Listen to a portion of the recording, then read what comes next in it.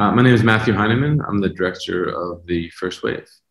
That is a trailer from the National Geographic documentary, The First Wave. And this is Factual America. We're brought to you by Alamo Pictures, an Austin and London based production company making documentaries about America for international audiences. I'm your host, Matthew Sherwood. Each week I watch a hit documentary and then talk with the filmmakers and their subjects. This week it is my honor to welcome Academy Award nominated and Emmy winning filmmaker Matthew Heineman, director and producer of the Nat Geo documentary The First Wave. The film captures the harrowing first four months of the COVID 19 pandemic as it played out in one of New York City's hardest hit hospital systems. Matthew and his team embedded with the doctors, nurses, and patients on the front lines, battling the biggest crisis to hit the world in our lifetimes. Their incredible film testifies to the strength of the human spirit.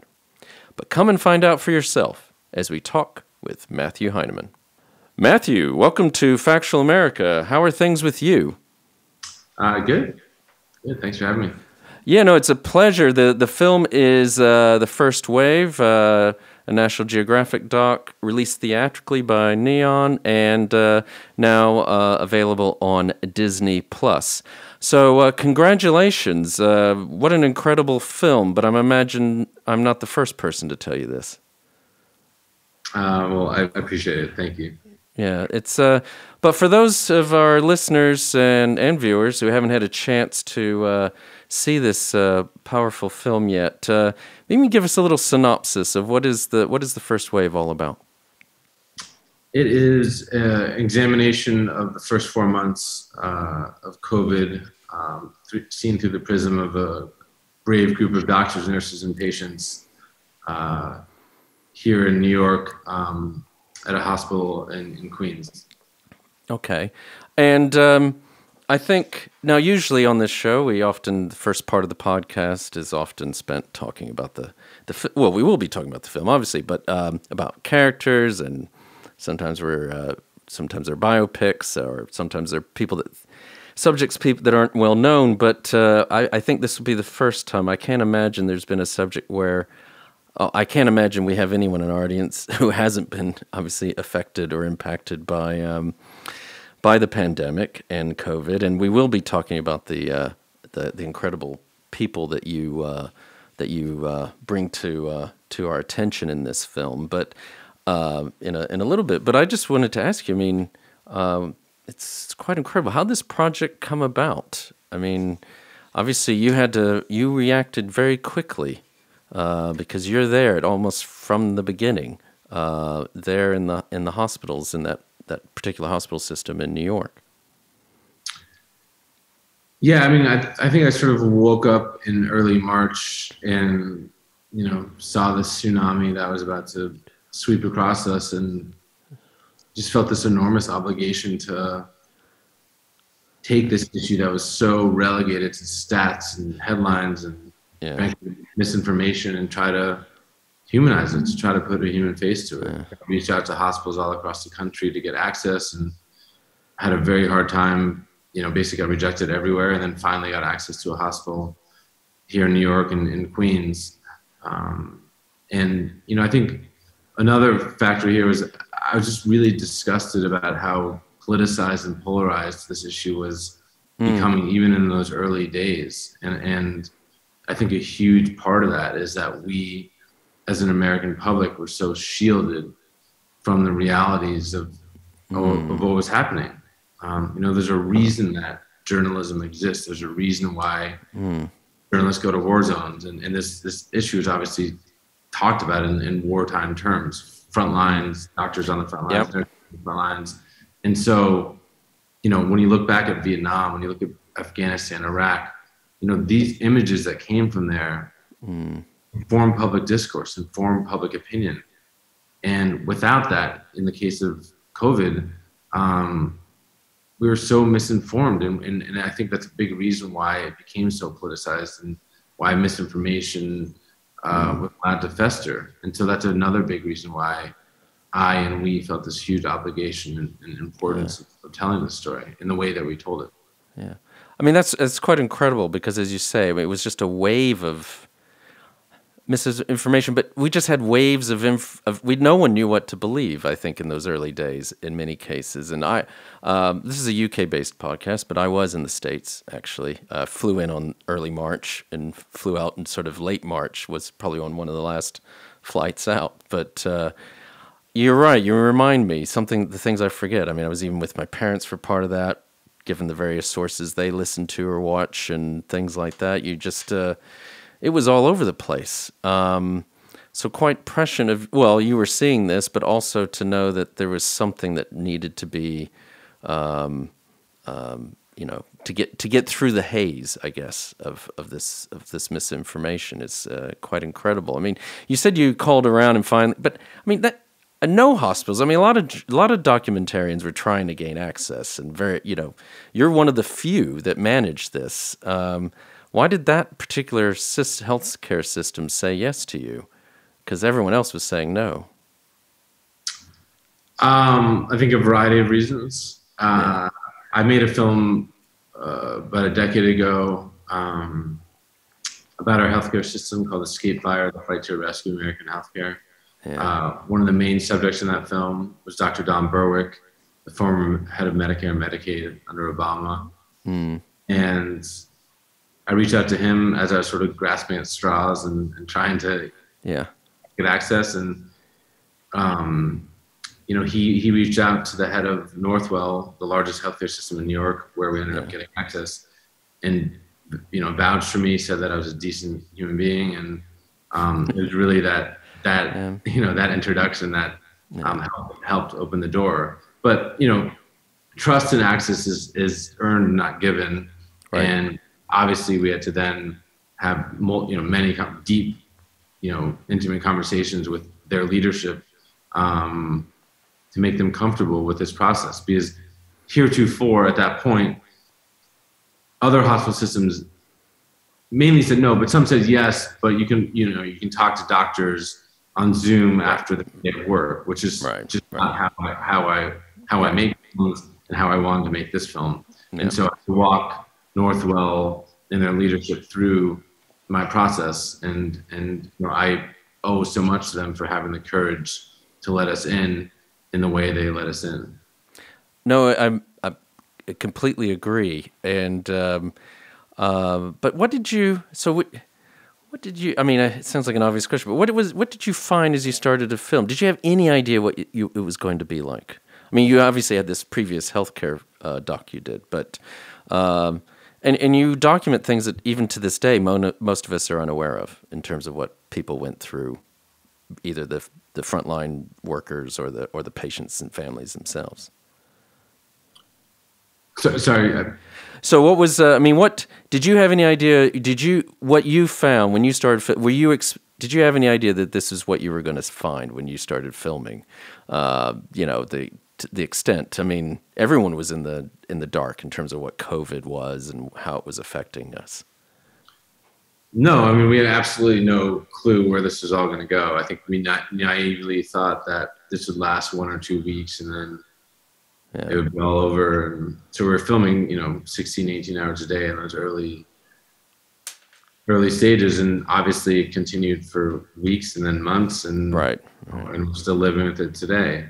Um, but again, we had no idea where this story was going to go, and that's one of the things I love about making docs is yeah, it's not you know scripting things and not you know um, preordaining where you think this is going to go, but letting the story and letting your subjects in the film you know lead you. When I when I was 21 years old, um, a mentor of mine said, uh, someone that I looked up to, said, if you if you end up with the, with the story you started with and you weren't listening along the way, right.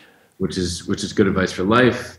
And it's yes. good advice for, for filmmaking. Is you know be open to the story changing, uh, and that's something that I've held near and dear to my heart at every step along the way. My career, both in a macro sense, in terms of the films that I decide to make and, and where I where I go, but also in a micro mm-hmm. sense within each film, and then within each shoot day. You know, mm-hmm. like just dance with the realities of life. Mm. Um, and and film every single film has sort of played out in that way. Um, where I end up with a, a, much different film in the end than I thought I was going to make in the beginning. Well, and and uh, on that point, I mean, your docs are very character driven. I mean, self self described as character driven cinema verite. I mean, how did you manage? Because you obviously have to connect with your with your characters. Um, and you had a very short period of time with which to do that, to identify who are the main characters you're going to be following. Um, and how did you power, you know, you've forged such powerful relationships, at least professionally in this, in this regard, with these characters as, cause you're, you're, you're, you're focusing in right at the beginning with them. Uh, whereas I gather, or you can correct me if I'm wrong, I gather with some projects you would usually have a little more time with with the subjects before you really are getting to the to the body and, and, and meat of the of the work. Is that is that a fair f- fair description or a question? Uh, yeah, I mean, I think generally I, I, like once I get access to whatever story it is, I like to shoot right away. And I think those yeah. those early those first couple of days of shooting always dictate the sort of the tenor of, of the relationship between your subjects and, and the camera. Mm. Um, so I generally like to roll as fast as possible um, because you know becoming part of the fabric of the daily lives of your subject is is key, and, and that's what allows you to get this type of access and, and, and, and intimacy with your with your subjects. And so um, the stakes here could not have been higher. I mean, the, right, right. the people that we were filming with were either on, on the healthcare side dealing with the razor thin edge between mm-hmm. life and death and trying to keep people alive and and then on the patient side you know on that on that razor thin line constantly and and so you know the fact that they were open to being filmed at the most difficult moments in their lives um, i owe and we owe so much to them yeah. for, mm-hmm. for the for the courage to allow us in yeah i think uh, i think that's a very good important point. I mean, these uh, these are some incredible. Um, well, there's everyone in the in the film, but particularly uh, what I guess we call the main characters. But um, I mean, Dr. Uh, Nathalie Dougé. I mean, that's she's absolutely amazing. Um, the Ellis family, um, Brussels. Uh, how do you say her name? Jabon. Um, Jabon. Habon and her, you know, her family and what they've been through. Kelly Wunsch, uh, Carl Arabian. I mean, they're all just uh, um, but so open with their with their lives and their emotions uh, going through this. It's um, um, it's it's it's quite quite incredible. And did you?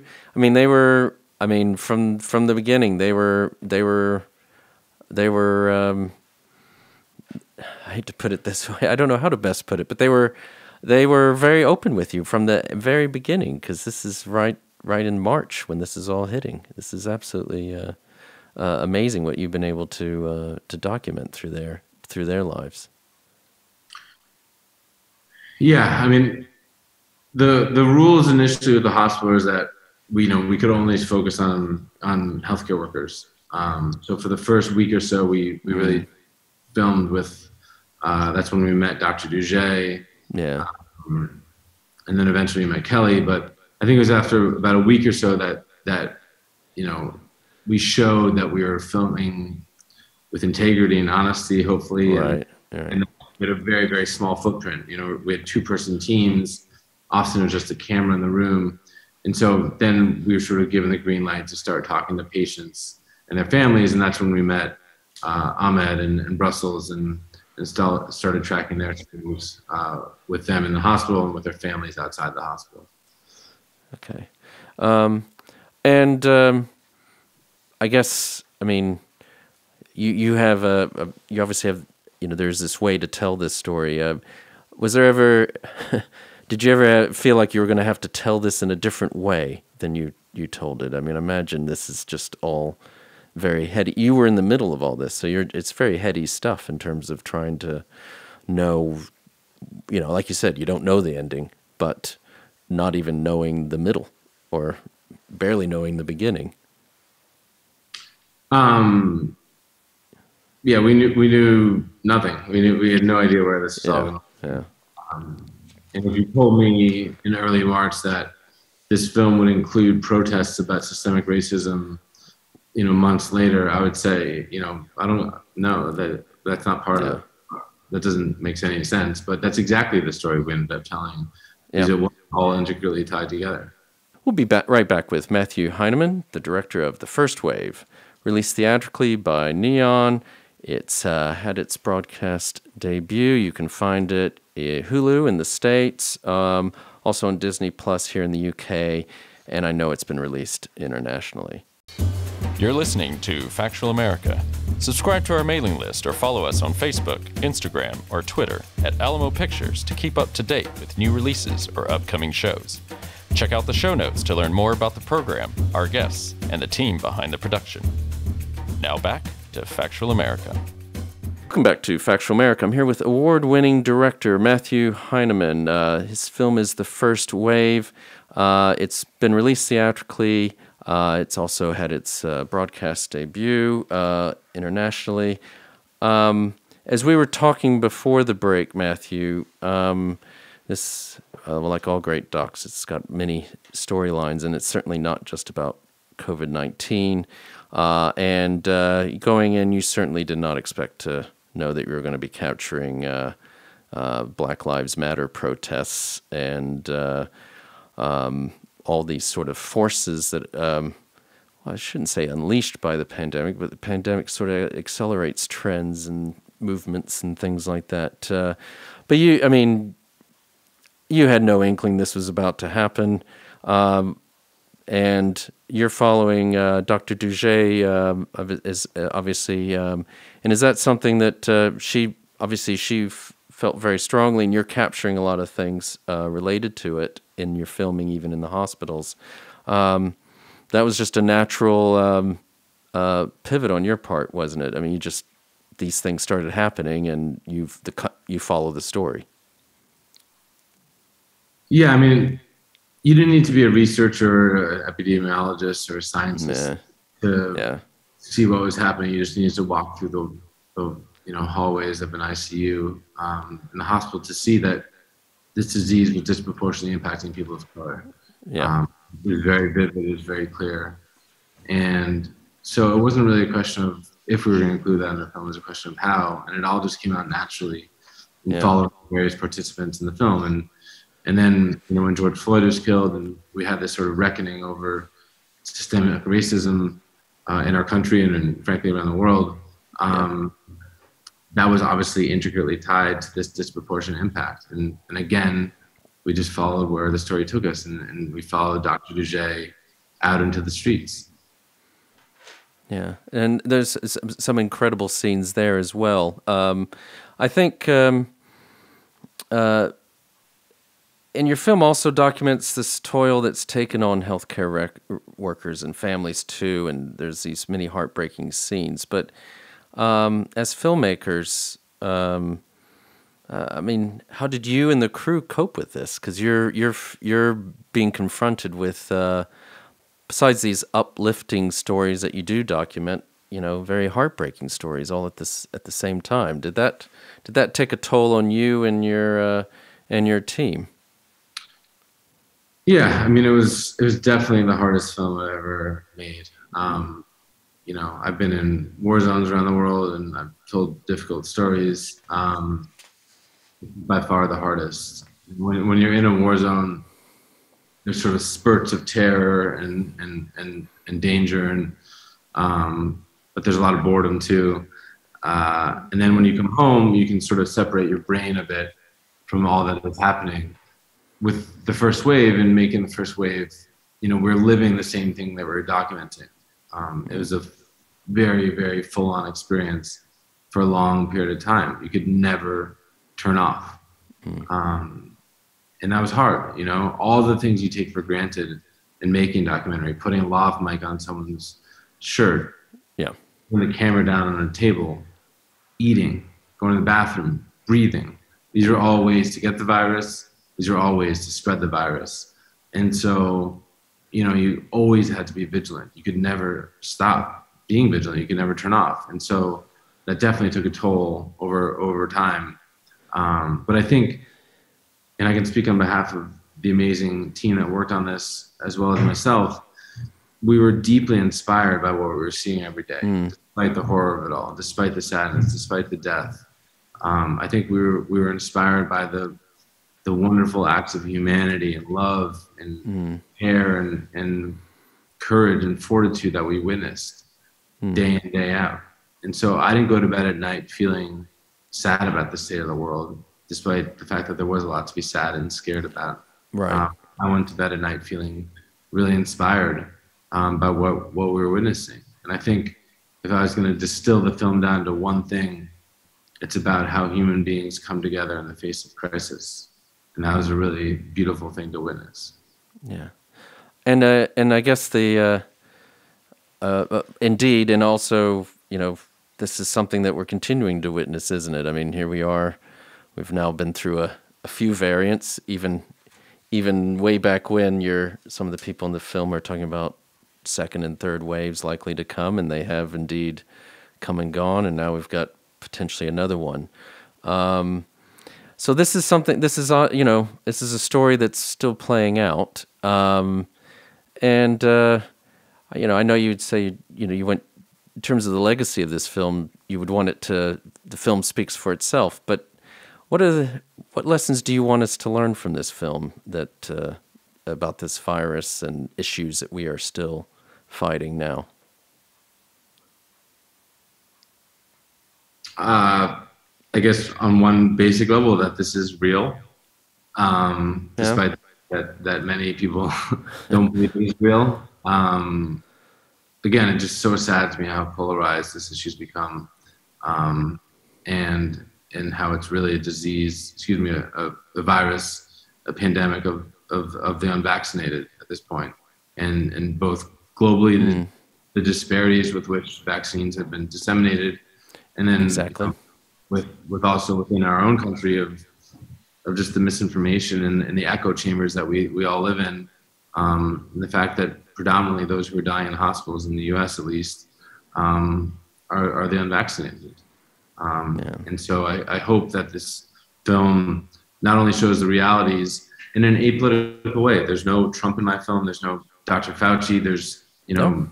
I really tried to take away the politics and just show the human beings at the center of it and, and how they were affected and, and the realities of all that. Um, so I hope that the film can provide a, a vehicle through which we can reflect on all that we've been through. Um, and what have we learned? What have we learned as a, as a society? What have we learned as individuals? Um, and how can we apply that knowledge to where we are now and, and where, we, where we go in the future? Yeah. Well, I think that's a, I think that's a very good point. And even someone like, uh, I will say, dare say, even someone like myself, now uh, more than a year and a half, almost two years on with vaccinations and now boosters and stuff, we kind of lose sight of, um, not only what those early days were like, but what things are still like in many parts of the world. As I think you rightly point out, there is quite a uh, disparity in terms of the vaccine equality uh, between the certainly the developed world and the rest of the world for the most part. Um, um, one that would probably never that gap's never going to. Unfortunately, it doesn't. It's not in the short term. It's going to be uh, narrowed. Um, and uh, people I know in all parts of the world say that that they they don't even know how they would deal with another wave uh, at this stage. Um, and I But I think. Uh, go ahead. So, sorry to interrupt, but that, that's that's human nature. You know, we all want to move on. You know, we all want to Yeah. forget about this thing, but we can't. You know, Yeah. we're we're we're all still living with it, whether we like it or not. And and I think it's an important thing to to see, and, that, and that's what I hope that this film can do is is is remind people the realities of how this affects, you know, uh, families, communities, individuals. and well, I I I hope I I I know if anyone sees it, they they will. You know, uh, I think it's uh, it's it certainly does that. And as as you said, it's uh, and you have to say this because of being in the in the U.S., but it is not politicized. It is a it's in my ham-fisted way of putting it, it's a very uh, what you see is what you what you get. It's uh, it's indeed what's uh, what's happened, and it is quite, as you say, it's heartbreaking and uplifting all at the at the same time. So um, so thank you. Um, um, I think we're we're starting to come towards the end of our time together, uh, Matthew. But I just want to ask you a few more questions, if I may. Um, um, besides, I, I, just watching the film and uh, having seen the credits. Um, I mean, besides the heroes you document and many other uh, people you give thanks and acknowledgments to, there's also a few. I, I only watched it through the credits once, but there's quite a list of who's who of people that you acknowledge in there as well. I think uh, I think Chris Hegedus and Stanley Tucci and I think Alex Gibney. Am I right? Is he an executive producer uh, on this? Um, do you want to? Say, could you say a few things about how they've uh, helped out with this film and uh, what what debt of gratitude you you owe them? Yeah, I mean, enormous. This film was an absolute um, massive collaboration between a lot of you know really smart, dedicated filmmakers. Uh, you know, Alex was on board officially as an EP and, and, did so much to help get this film off the ground and provided you know feedback along the way. And I owe so much to him. You know, Chris is a is a dear friend and provided you know numerous rounds of notes and watched a bunch of different cuts. Um, you know, and as did a lot of people, you know, and, and I, I, I like to overscreen my film to the chagrin of my editors that, mm. uh, and, and so, you know, we, yeah, we screened this film for lots of different people and got, you know, feedback from friends, from, from, you know, focus groups that we pulled together from around the country. Um, I really wanted to see how this film was impacting people emotionally and viscerally. Mm. Um, every single frame, every single moment, every single sound every single pixel was deliberated on, was argued about, was contemplated. Um, you know, I think we, not to sound self-important, but I think we knew that the access we had was unique, and we knew that this would be one of the documents, historical documents of this time. Right. And, and, and I and I and we felt an enormous weight uh, with that, enormous pressure with that and so I, I didn't want to screw it up. I didn't want to get it wrong. Um, right. And I wanted to do the best job we could um, to create this historical document. And is that an approach you take to all your films, all your documentaries, pretty much? Yeah. Yeah. I, I do. I, am I'm, I'm very detail oriented. Uh, I, I, work really hard. I think I, I push people really hard. Um, but I and I'm and I feel really lucky to do what I do. I feel mm. um, it's a it's a huge privilege to be able to tell stories. Um, but I think this film more than ever um, is the film that I'm most proud of, and it's the film that I mm. felt yeah the deepest responsibility with, just because yeah. it's something that's affected every single human being on this earth. And yeah, exactly. You know, we've all been changed forever by it, and and so I wanted to yeah get it right. Mm. And um, and what's next for you? You've had amazing success with both documentary and narrative. Um, uh, I know you did Private War, and that won many acclaims and awards. Uh, but what's what's next on for you? If you can't even look ahead uh, uh beyond this film. Um, yeah, I mean, I, I, hope to keep telling stories. Of, you know, yeah. um, I'm I was in Afghanistan this past summer. Um, I'm, I'm, making a doc about the end of the war. Okay. Um, and I have a few uh, fiction projects that I'm working on too, and yeah, just excited to keep uh, telling stories as the sun mm. reflecting on rebuilding.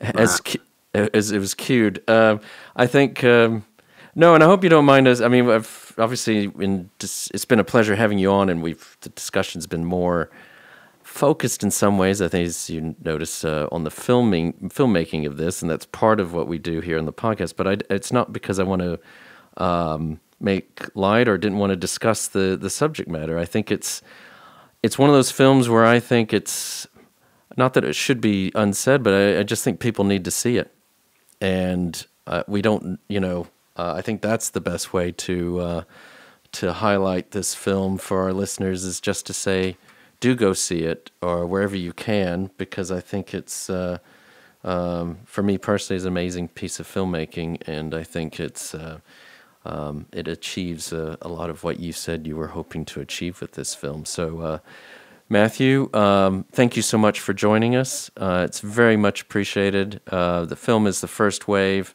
Uh, it's been released theatrically, and it's you can find it on Hulu in the states, and I know uh, it's on Disney Plus and other places, including the here in the UK where we are based. So, Matthew, thank you again for uh, for joining us. We'd love to have you again sometime. Thanks. Thanks for having me. Thanks for taking the time. I'd also like to give a shout out to Sam and Joe at Inner Sound Audio in Escrick, England. A big thanks to Nevena Paunovic, our podcast manager at Alamo Pictures, who ensures we continue getting such great guests onto the show. Finally, a big thanks to our listeners. As always, we love to hear from you, so please keep sending us feedback and episode ideas, whether it is on YouTube, social media, or directly by email. And please remember to like us and share us with your friends and family wherever you happen to listen or watch podcasts. This is Factual America, signing off. You've been listening to Factual America. This podcast is produced by Alamo Pictures, specializing in documentaries, television, and shorts about the USA for international audiences. Head on down to the show notes for more information about today's episode, our guests, and the team behind the podcast. Subscribe to our mailing list or follow us on Facebook, Instagram, and Twitter at Alamo Pictures. Be the first to hear about new productions, festivals showing our films, and to connect with our team. Our homepage is alamopictures.co.uk.